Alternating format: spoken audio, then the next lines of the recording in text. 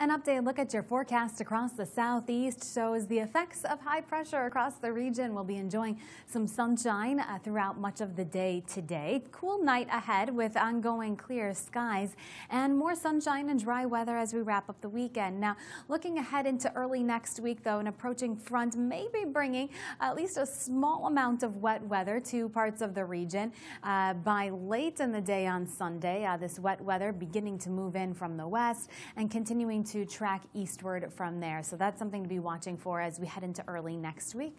For now, though, lots of 60s on the map, a few 70s down toward Florida, 79 in Miami will be one of the warmer spots across the region. Otherwise, we're at 62 in Atlanta today under sunny skies, 66 in Mobile, 61 up in Nashville, down into the 40s, a few 30s overnight tonight, uh, 50s and 60s across Florida, and uh, 60s and 70s again tomorrow.